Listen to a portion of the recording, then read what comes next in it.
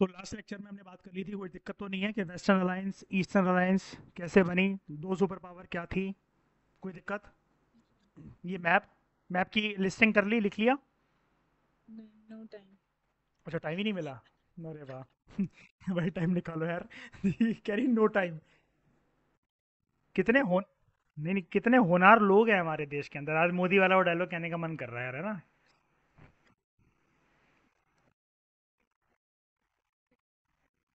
अच्छा अच्छा। चलो कोई बात नहीं, आज देख लेना, कर लेना। वैसे स्टोरीज जो मैं आपके दिमाग में बैठा रहा हूँ, आपको कोई दिक्कत नहीं आने वाली है। हम तो इतने बार रिवाइज करेंगे ट्वेल्थ में इन सब चीज़ों को, कोई टेंशन नहीं है, ठीक है? कर लेना। हाँ मुझे आपको एक बात बतानी थी।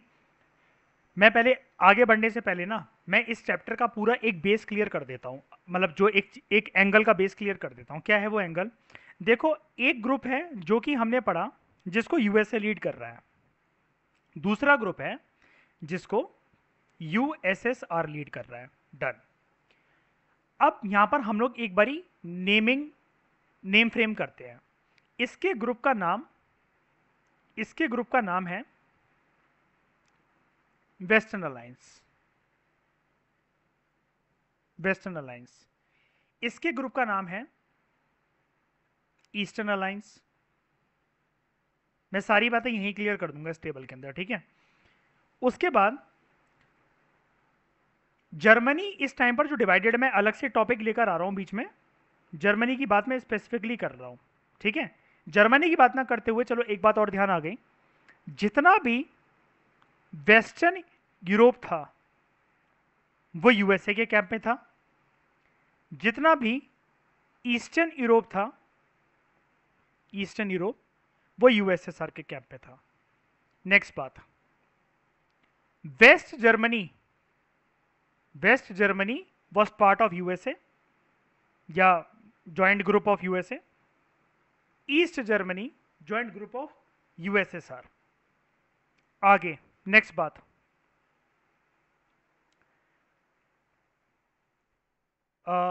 north Korea was in the camp of USA.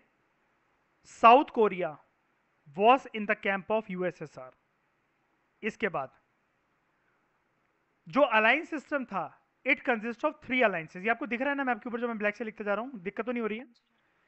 The three alliances found by USA was NATO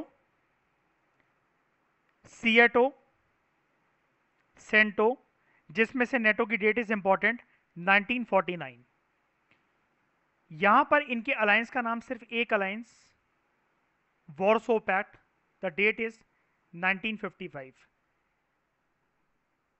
this group of USA अगला नाम was called as first world countries this group led by USSR was called as second world countries last is ideologies यहाँ पर भी ideologies the ideology led by USA group was capitalism and democracy the ideologies led by USSR का group was communism and socialism topic खत्म.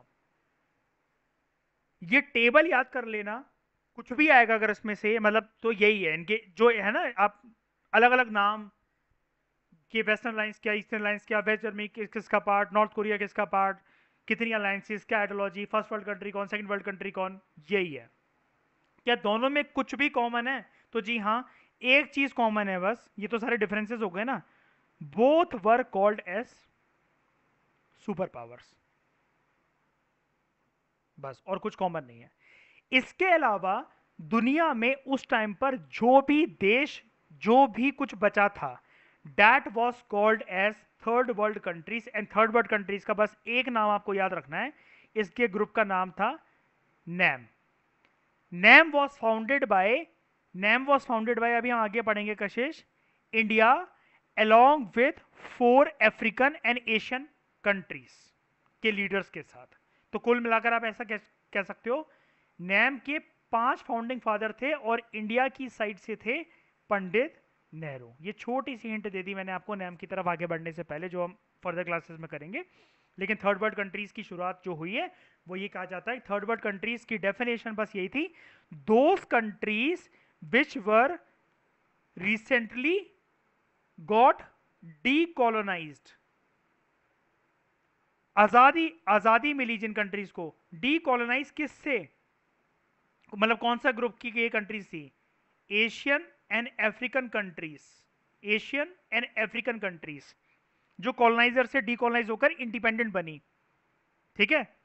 तो इनको third world क्यों कहा जा रहा है? Because they were not ready to join either first world और सेकेंड वर्ल्ड बिग नो हम फिर से इनको ज्वाइन कर कर मूर्ख नहीं बनेंगे बेवकूफ़ नहीं बनेंगे और आ, फिर से गुलामी नहीं सहन करेंगे। बस। प्रेशर ऐसा था नॉट प्रेशर लालच था। हमारे कैंप आ जाओ तो ये फ़ायदा मिलेगा, उसके कैंप आ जाओ तो वो फ़ायदा मिलेगा। लेकिन दे डिसाइडेड दे डिसाइडेड कि हम कोई अकेले थोड़ी ना है। Let's make a group of name recently develop countries हैं, सबकी इकोनॉमी एक ही लेवल पर है, एक दूसरे की मदद करते हैं। Why to take help from the super powers वक्त लग गया उस चीज़ में। थोड़ी सी रणनीति गलत भी पड़ गई, लेकिन एक इंडिपेंडेंट स्टेटस मेंटेन हुआ मेरा। मेरा घर आपके सामने कंस्ट्रक्टेड है, नया घर है फ्लोर बनना स्टार्ट हो रहा है। आपने कहा, मैं बिल्डर हूँ, मैं बना देती हूँ आपका घर, चार फ्लोर का बहुत सुंदर सा सेवन स्टार होटल जैसा घर बना दूँगी, एक फ्लोर मेरा। मैं कहा, कोई बात नहीं बिल्डर जैसी क्वालिटी का भले ही नहीं, भले ही नहीं बनेगा, लेकिन पूरी बिल्डिंग मैं अपने नाम ही रखना चाहता हूँ, मैं तो नहीं बांटूँगा किसी के साथ। मैं अपना स्टेटस क्यों कम करूँ कि सारी बिल्डिंग में एक चीज़ हो और छत तुम रख लो या फिर एक फ्लोर तुम रख लो बाय मेरी प्रॉपर्टी है। I maintained by independent status समझ गए? अब आपको कोई दिक्कत नहीं आने वाली। अब ये चैप्टर और भी ज़्यादा लाइट हो जाएगा, क्योंकि प्रीवियस लेक्चर्स अगर आपने सुने हैं तो समझे हैं? तो आपको सारी चीज़ें क्लियर होंगी यहाँ पर। चलो बात करते हैं। वेस्टर्न अलायंस कौन लीड कर रहा था इससे? कौन सा कौन सी कंट्री अब बताओ। यूएसए ठीक है? वेस्टर्न अलायंस आगे चलते चलते एक ऑर्गेनाइजेशन में तब्दील हो गया कन्वर्ट हो गया। That organisation was famously came to be known as NATO north Atlantic treaty organisation जिसके बारे में मैं आपको प्रिसाइसली बताता चल रहा था हज़ारों बार मैंने इस डेट का ज़िक्र करा है 1949 1949 1949 बस एक एक्स्ट्रा चीज़ याद रख लो आज से April 1949 to be precise to be precise इसलिए कह रहा हूँ कभी आया तो नहीं है लेकिन सेफ़ साइड के लिए जब 1949 दिमाग के अंदर बस ही गया है तो अप्रैल लगाने में क्या दिक्कत है? ठीक है? नेटो का स्ट्रक्चर के बारे में बात करेंगे लेकिन उससे पहले एक बारी बस आ, मैं यहाँ पर देख लूँ कुछ रह तो नहीं गया। मैंने कल इसका वो दे दिया था आपको कि मतलब ईस्टर्न लाइन पे लास्ट क्वेश्चन क्या लिखवाया था मुझे? एक बार फटाफट बता दो जरा। एक क्वेश्चन और लिख लो। डिफाइन या define sorry differentiate between western alliances and eastern alliances लिखो। Differentiate between western alliances and eastern alliances.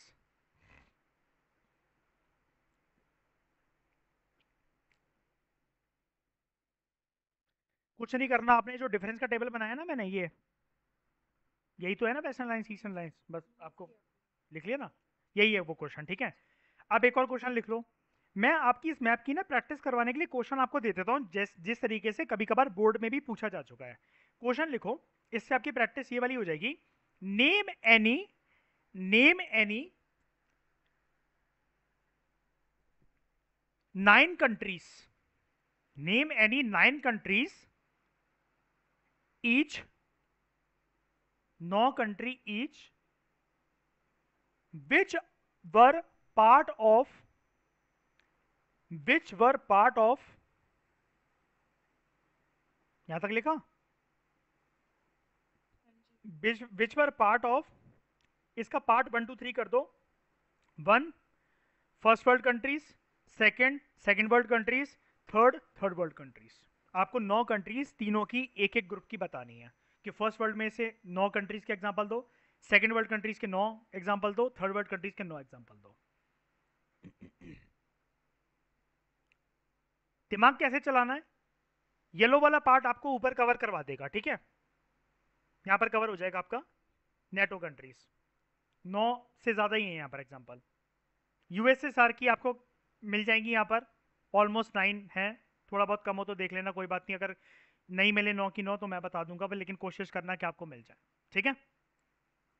इसके बाद अगर सिर्फ़ ये तो यूरोप का मैप है, अगर यहाँ पर ना मिल रही हो, जस्ट सी के यूएसएसआर का मैप या यूएसए का मैप कहाँ तक जा रहा है। जैसे ये यूरोप का मैप था, यहाँ पर ऑस्ट्रेलिया नहीं दिख रहा पर अपन को, लेकिन यहाँ पर देखो, ये रहा ऑस्ट्रेलिया, येलो में है तो इसका मतलब नेटो का पार्ट है। अब सवाल ये उठता है कि नैम की कंट्रीज़ को कैसे करोगे?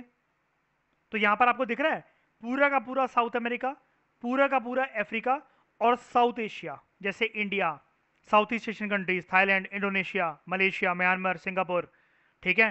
श्रीलंका, बगल में ये सेंट्रल एशियन कंट्रीज़ पूरा का पूरा अफ्रीका कॉन्टिनेंट पचास से ज़्यादा कंट्रीज़ होती हैं।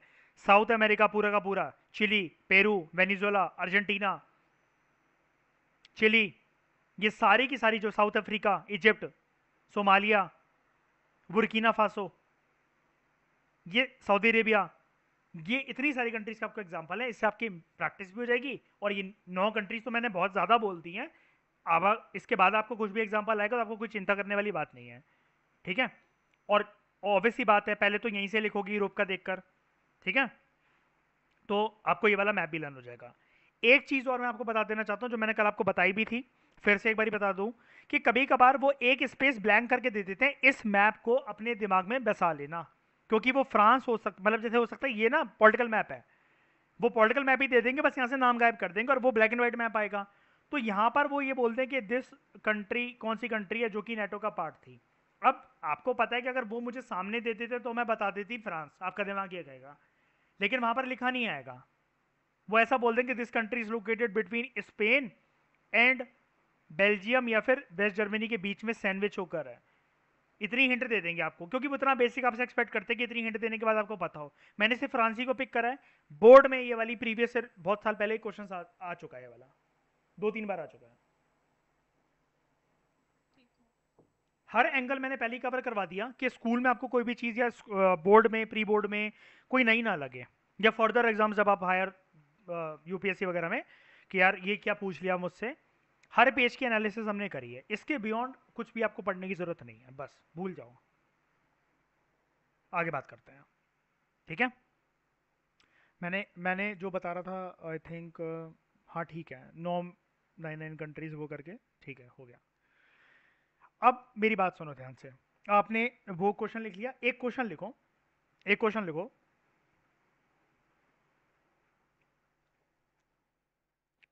Write full form of NATO write full form of NATO, पहला पार्ट ये, write full form of NATO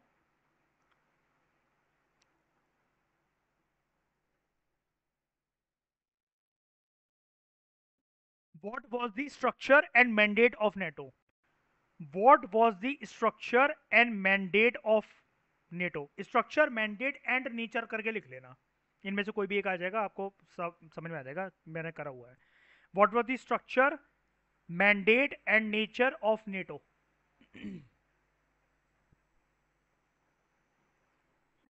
ठीक है? अब पढ़ते हैं इसके। हमने आपको नेटो की फुल फॉर्म पता ही है, कब फॉर्म हुआ था वो भी लिख लोगे। हमें क्या इसका पता करना है? स्ट्रक्चर मैंडेट और नेचर ठीक है? देखते हैं क्या होता है इसका स्ट्रक्चर सबसे पहले तो सबसे पहले तो एक चीज़ याद रखना नेटो एक ग्रुप है। पता चल रहा है ना, कोई कंट्री तो है नहीं ग्रुप कोई कंट्री तो है नहीं नेटो कोई कंट्री तो सुनी नहीं है आपने वॉर्सोपैट कोई कंट्री तो नहीं है सीएटो सेंटो कोई कंट्री तो नहीं है ग्रुप है। कैसा ग्रुप है? ऑर्गेनाइजेशन है। ऑर्गेनाइजेशन है। तो ऑर्गेनाइजेशन कह लो, या फिर अगर मैं ये वर्ड यूज़ कर लू, कोई दिक्कत है क्या इसमें? एसोसिएशन ऑर्गेनाइजेशन भी एक एसोसिएशन होती है ना? अच्छा एक मिनट अभी आ रही है? तो मैं ये कह रहा हूँ कि ऑर्गेनाइजेशन कह लो या एसोसिएशन कह लो, बात तो एक ही है ना? बात तो एक ही है। नेटो एक एसोसिएशन है ऑर्गेनाइजेशन है। शुरू में जब ये बना था तो याद रखना हमें अपने कोर्स के हिसाब से याद करनी है चीज़ें। बारह स्टेट्स इसका पार्ट थी। कितनी स्टेट्स को मिलाकर बना था ये? बारह स्टेट्स को मिलाकर। ठीक है? तो एक क्वेश्चन लिख लो। How many members were originally there in NATO how many members were originally there in NATO तो क्वेश्चन जो मैंने आपसे बोला, ये बोला, अगला question how many members were initially there in NATO ठीक है? कितने मेंबर्स थे? इसका नंबर याद रखना, बारह। अब स्ट्रक्चर नेचर और मैंडेट की बात करते हैं। ध्यान से सुनना। ये बारह कंट्रीज़ हैं। बारह कंट्रीज़ हैं। बारह कंट्रीज़ को छोड़ो, हम दोनों अपनी बात करते हैं। ये आप हो एक्स वाई जेड ये मैं हूँ ए बी सी हम दोनों की एक दूसरे के प्रति रिस्पेक्ट है। ठीक है? हम दोनों बहुत अच्छे दोस्त हैं। दोस्ती हमारी, मान लो, कुछ इस प्रकार से है कि आप ये बोलते हो कि अगर इनकी बेइज्जती हुई तो मैं उसको अपनी बेइज्जती के अपनी बेइज्जती के बराबर मानूँगी और मैं भी यही बोलता हूँ कि अगर कशिश की किसी ने इंसल्ट करी या उसको किसी ने दुखी करा तो मैं ऐसा मानूँगा कि उसने मुझे दुखी करा है। तो सोच लेना तुम्हारा परिणाम क्या होगा। तो कोई पर्सन मुझसे बोले, भाई मैंने तुमसे कहा है ना, कशिश तो थोड़ी ना कुछ कहा है। मैं कह रहा हूँ, भाई उससे, मुझसे कहो, चाहे उससे कहो, हम दोनों की बात इक्वल है। तो यहाँ पर क्या देख रहा है? भाई कुछ बॉन्डिंग कुछ बहुत ही ज़्यादा अच्छी यहाँ पर बॉन्डिंग है। कुछ इसी प्रकार की बॉन्डिंग जो हम लोगों ने यहाँ पर इस एग्ज़ाम्पल के अंदर शब्द यूज़ करे ना, यही शब्द डिट्टो नेटो के मैंडेट है। क्या? अब आपको इसकी अंग्रेज़ी समझ में आसान से, आसानी से आ जाएगी। आपने क्या बोला था कि अगर इनकी हुई तो मैं अपनी बेइज्जती के बराबर मानूँगी? मेरा भी यही स्टैंड था कि कशिश की बेइज्जती या इंसल्ट हुई या उसने उसको किसी ने हर्ट करा तो उसको मैं ऐसा मानूँगा कि उसने मुझे हर्ट करा है, मुझे दुखी करा है। ठीक है? आर्म्ड अटैक अगर किसी भी 12 कंट्रीज़ में से किसी एक पर भी आर्म्ड अटैक होता है armed attack on any one of them would be regarded as an armed attack on all of them 12 countries हैं, इनमें से किसी एक पर भी अटैक होता है तो बाकी 11 ऐसा मान लेगी कि उनके ऊपर अटैक हुआ है। अब समझ में आ गया। इसका मतलब क्या है? इनमें से नेटो ने एक हिंट दी थी जब बना था मतलब एक तरीके से कि बेटा मेरे से यूएसए ने बोला मेरे से और मेरे एलीज से जो 11 एलीज हैं यूरोपियन कंट्रीज़ हैं मतलब एक तो यूएसए खुद और 11 एलीज के ध्यान रखना हमें से अगर किसी का ईगो हर्ट कर बैठोगे तो अपना नुकसान कर बैठोगे। क्योंकि भाई हम तो ये मानेंगे किसी भी, भी एक पे अटैक कर दो। हम तो बाकी तो यही मानेंगे कि बाकी के 12 के 12 मेंबर्स पे अटैक हुआ है। और उस सिचुएशन में होगा कि आगे पढ़ो। इस सिचुएशन के अंदर जब सब लोग ये मान रहे हैं कि हम सब पे अटैक हुआ है, अगर किसी एक पे भी अटैक होता है तो each of this state would be obliged to help each other इतना प्यार है भाई। ठीक है? ये तो हो गई वेस्टर्न अलायंस की बात। अब करते हैं ईस्टर्न अलायंस की बात। यहाँ पर देखो ईस्टर्न अलायंस ईस्टर्न अलायंस जो बनी it was formed under the banner of Warsaw Pact किसने बनाया? जैसे वेस्टर्न लाइन्स को यूएसए ने बनाया। वेस्टर्न लाइन्स बनी सबसे पहले in the form of NATO April 1949 12 countries इसकी मेंबर थी। वॉर्सो पैक्ट के बारे में आपको चिंता करने की ज़रूरत नहीं है। सिर्फ़ 1955 याद रखो। ज़ाहिर सी बात है, आपको अभी तक की क्लासेस में ये अंडरस्टैंडिंग है कि सोवियत यूनियन या फिर यूएसएसआर कह लो इसने बनाया था। और ये बनी किस लिए थी? जैसे 1949 में बनी यूएसए ने यूएसएसआर को इंडायरेक्टली धमकी देने के लिए हम में से किसी बारह के ऊपर भी एक भी अटैक करने की सोचना मत। हमारे एलिस के ऊपर भी मत सोचना। हम बारह तो एक ऑर्गेनाइजेशन है, इसके अलावा हमारे कुछ कुछ दोस्त भी हैं। लेकिन हम बारह के ऊपर तो कतई मत सोचना। इसके रिस्पॉन्स में, इसके काउंटर में सोवियत यूनियन ने 1955 के अंदर in response to counter NATO forces उसने अपनी वॉर्सोपैट नाम से एक ऑर्गेनाइजेशन बनाई, जिसको कहा गया ईस्टर्न अलायंस समझ गए? समझ गया ये ये इसका वो था मैंडेट ठीक है? अच्छा एक चीज़ और। ये जो डिफरेंसेस हमने लिखे थे ना ऊपर इनमें एक नौवा डिफरेंस ये भी है। एक नाइन्थ डिफरेंस ये भी है। यूएसए की यूएसए वाले ग्रुप को बोला जाता है कैपिटलिस्ट ब्लॉक यूएसएसआर वाले ग्रुप को बोला जाता है। ये इसका नाइन्थ पॉइंट हो जाएगा इन, इन दोनों का। ये भी इसका नाइन्थ पॉइंट ये भी इसका नाइन्थ पॉइंट इसको बोला जाता है कम्युनिस्ट ब्लॉक। सुपर पावर्स जो हम लोग दोनों यूएसए और यूएसएसआर के लिए कॉमन चीज़ें यूज़ कर रहे हैं ना, हम लोग क्या क्या टर्म यूज़ कर रहे हैं ये भी जान लो।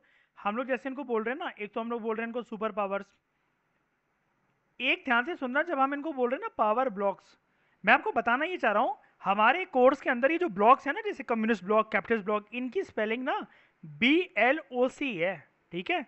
बी एल ओ सी के मत लिख कर आ जाना।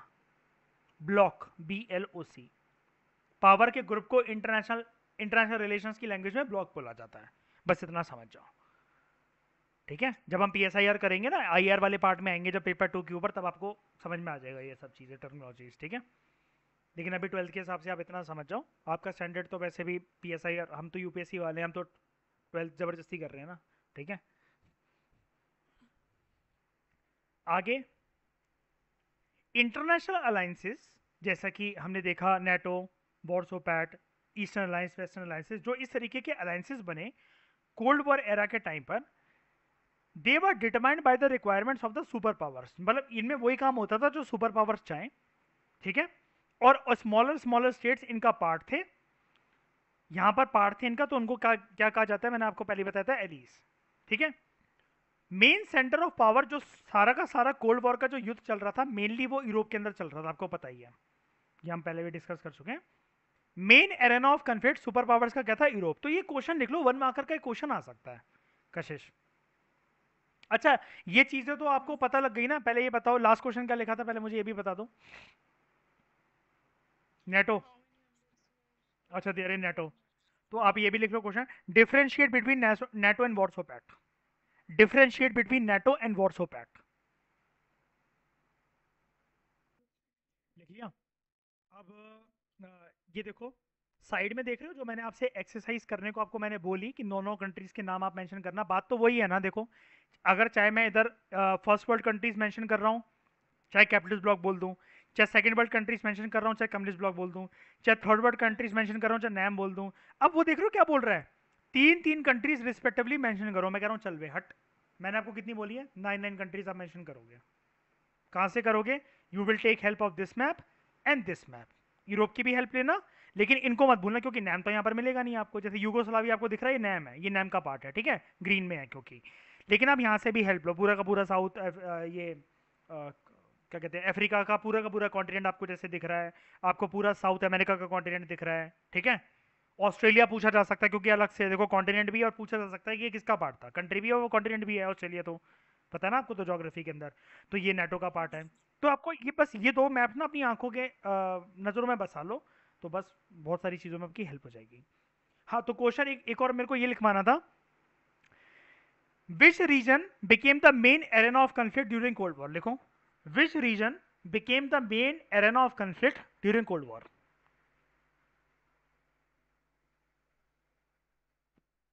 which region became main arena of conflict during cold war क्या है इसका आंसर यूरोप। ठीक है? अब कभी कभार वैसे तो आ, ये जो पावर अलाइंसेस थे ईस्टर्न अलायंस वेस्टर्न अलायंस ये छोटे छोटे कंट्रीज़ को लेना चाहते थे अपने ग्रुप में ताकि इनका ग्रुप एक्सपेंड हो। नेटो सीएटो सेंटो के मेंबर्स बढ़े सिमिलरली यूएसएसआर चाहता था कि वॉर्सोपैट के मेंबर्स बढ़े कभी कभार तो ऑफ़र देता था लालच देता था सिचुएशन ऐसी क्रिएट कर देता था कि छोटी छोटी कंट्रीज़ इनका पार्ट बन जाए, इनको ज्वाइन कर ले। लेकिन बड़े सारे केसेस के अंदर सुपर पावर्स अपनी मिलिट्री पावर को भी यूज़ करते थे। They also use military power to bring countries into their respective alliances ज़बरदस्ती भी लाने की कोशिश करते थे इसका मतलब। ठीक है? जैसे हमारे सामने एक एग्ज़ाम्पल है। सोवियत यूनियन ने ना यूएसएसआर ने इंटरवेंशन करी थी ईस्ट यूरोप के अंदर। ठीक है? ईस्ट यूरोप के अंदर ये ज़बरदस्ती घुसा था कब्जा करने के लिए। कंट्रीज़ को अपने ब्लॉक में, क्या नाम था इसके ब्लॉक का? कम्युनिस्ट ब्लॉक कह लो वॉर्सोपैट कह लो ईस्टर्न अलायंस कह लो, कुछ भी कह लो, उसको, उन कंट्रीज़ को ज़बरदस्ती शामिल करने के लिए। मतलब ये सिर्फ़ मैं आपको बात सुना रहा हूँ, ये कुछ बहुत इंपॉर्टेंट इवेंट नहीं है, ठीक है? सिर्फ़ समझो इस बात को, जो इंपॉर्टेंट होती है वो तो उनके ऊपर मैं क्वेश्चन लिखवाई देता हूँ। The Soviet Union use its influence in eastern Europe eastern Europe के अंदर उसने अपना इन्फ्लुएंस यूज़ करा, और तभी तो हम कहते हैं कि पूरा का पूरा ईस्टर्न यूरोप किसका पार्ट है? यूएसए के ग्रुप का पार्ट है या यूएसएसआर का? ऊपर देखो डिफरेंसेस के अंदर क्या लिखवाया मैंने? यूएसएसआर के ग्रुप का पार्ट है। ठीक है? और यहाँ पर इसकी बैकिंग जो थी, इसका जो सपोर्ट था it was backed by very large presence of its armies in the countries of the region मतलब ईस्ट यूरोप के अंदर यूएसएसआर की आर्मी काफ़ी ज़्यादा वास्टली फैली हुई थी, और इसने कोशिश करी थी यूएसएसआर ने कि यूरोप का जो ईस्टर्न हाफ़ वाला पार्ट है, यानी कि ईस्टर्न यूरोप कह लो या फिर ईस्टर्न हाफ़ कह लो, वो उसके स्फेयर ऑफ़ इन्फ्लुएंस के अंदर आ जाए, उसके चंगुल के अंदर आ जाए।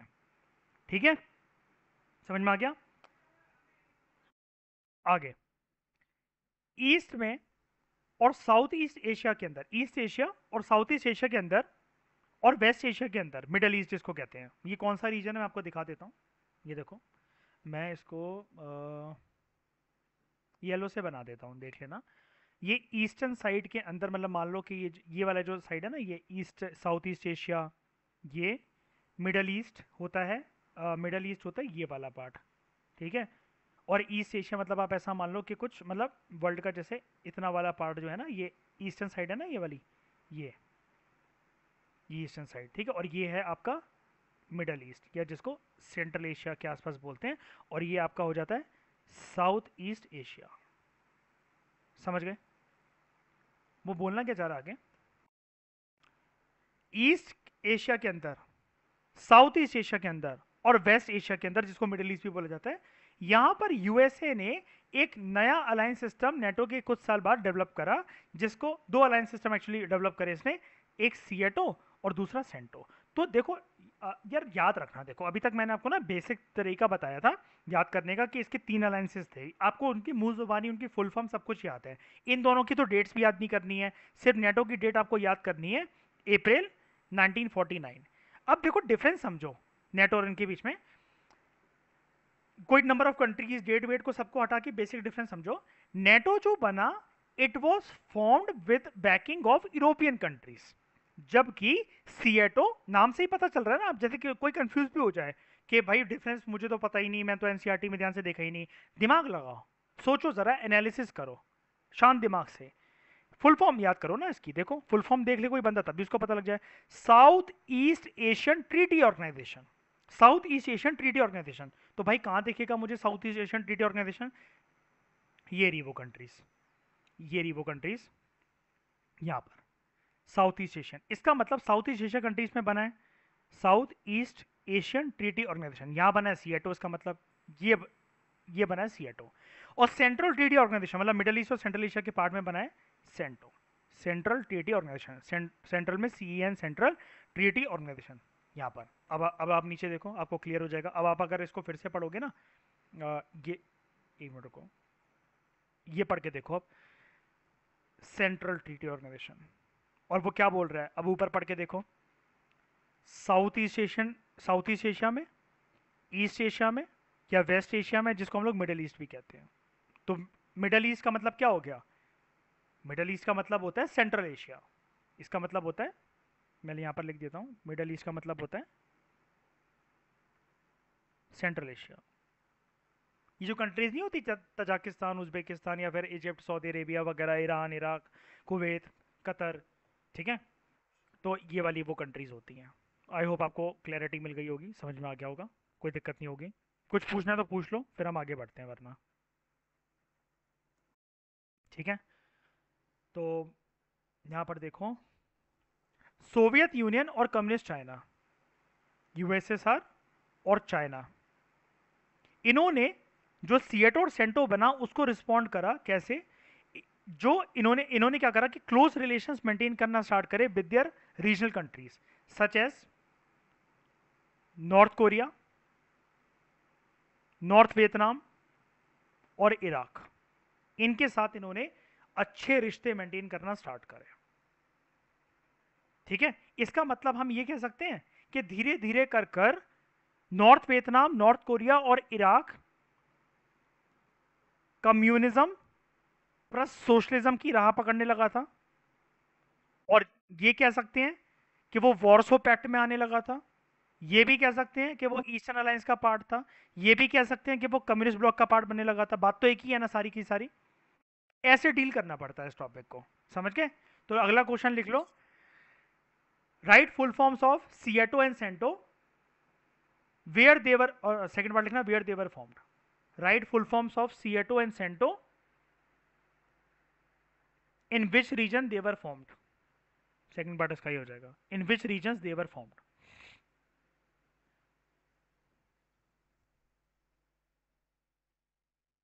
ठीक है?